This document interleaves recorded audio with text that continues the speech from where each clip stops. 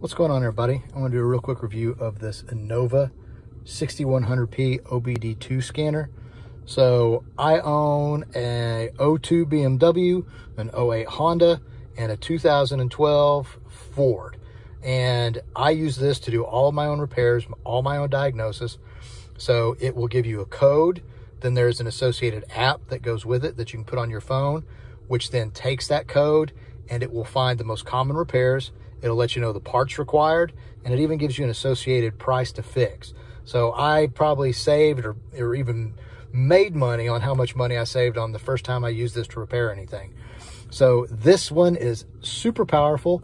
There are other ones that will just pull a code and you have to figure out all that information on your own. This one does that with the app.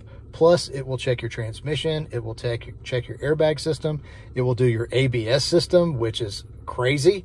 Uh, it has a charging test for your alternator and to see if your battery is good or bad. Like this thing does absolutely everything.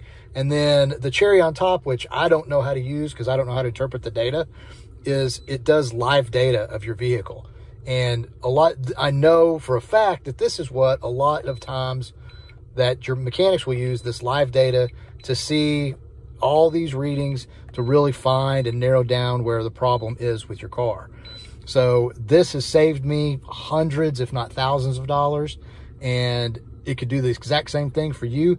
And if you are a more advanced mechanic or you're a tuner or anything like that, I would imagine that that live data feature would be invaluable to you.